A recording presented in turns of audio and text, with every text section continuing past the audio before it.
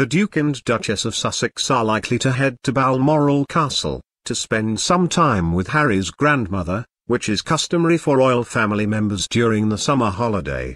The royal family often spends quality time together by going for walks on the estate, having picnics and cooking barbecues.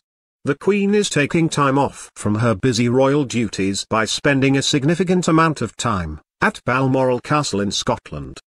During the first week of August the longest-serving monarch will inspect the battalion of the Royal Regiment of Scotland, who provide security during the royals' stay.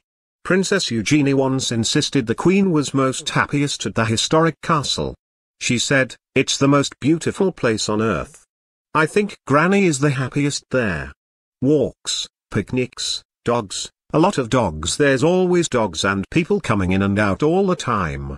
Family-wise we're all there, so it's a lovely base for Granny and Grandpa to be, for us to come and see them up there where you just have room to breathe and run.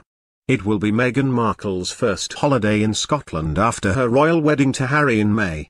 The Duke of Sussex took his then-girlfriend there in September, just before their engagement was announced.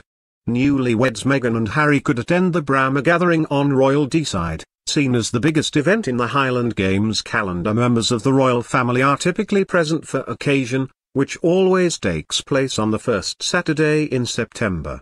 The Queen also hosts an event dubbed the Gillies Ball that is a highly anticipated dance, during her time in Scotland. The 50,000 acres offers the privacy that Queen Elizabeth and Prince Philip look for during their summer away from the public life. Balmoral Castle has been the Scottish home of the royal family, since it was bought for Queen Victoria by Prince Albert, in 1852 for £32,000, having been first leased in 1848.